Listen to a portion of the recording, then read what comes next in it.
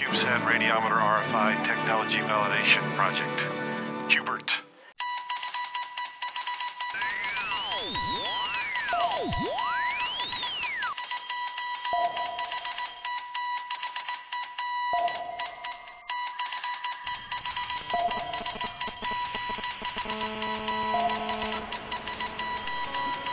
RFI causes some fraction of the science goals of our current microwave radiometer missions to be missed. The problem is only going to continue to get worse.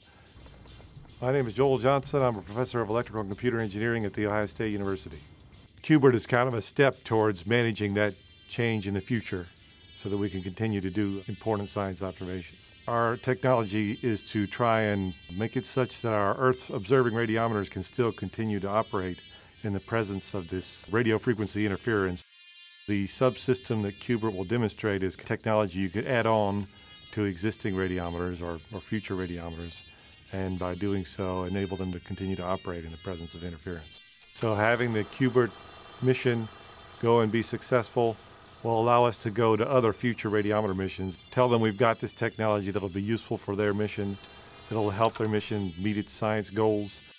The application to Earth science, everyone knows the motivations there in terms of the concerns about the future of Earth's climate. To be able to understand that, we need good Earth observing systems. CubeRRT is one piece of the puzzle